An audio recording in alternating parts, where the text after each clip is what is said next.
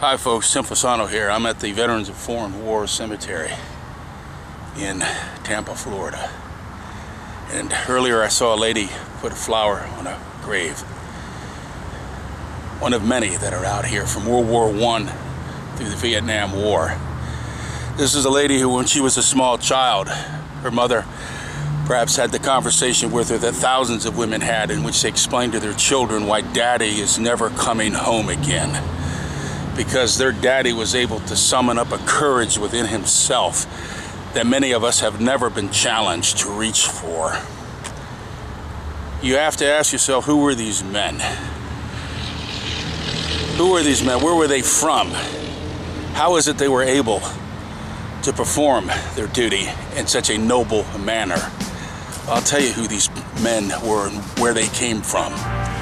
They came from the small towns they came from the cities, they came from the farmlands, they came from the rural areas. They were the product of the freest society that's ever existed on earth. A nation that was founded on liberty and on the concept of individual initiative. An understanding that one could be tempted to believe that the central government could solve your problems, but it was tempered with an understanding that the government could do its people great harm. Hence the concepts of freedom that were so loved and cherished. The world we live in today is changing. People are trading in their liberty for the soup kitchen of the welfare state. It's a dangerous proposition. Tyranny is spreading throughout the world because people are letting it happen. Alexander Hamilton said a man that was willing to live on his knees rather than die standing with a sword in his hand would get a dictator and would deserve one. We're at a moment in time where we need to treat our enemies with extreme prejudice.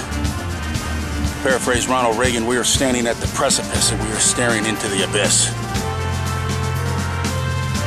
And if we don't take action within our generation, freedom liberty will be cast to the ash heap of history.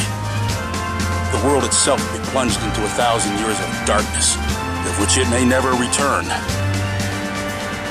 Liberty is not a given. It's rarely existed on Earth. It has to be protected. These men understood the cost. These men were willing to pay for it. Are we? So while you're having your barbecue this weekend, think about these men what they did.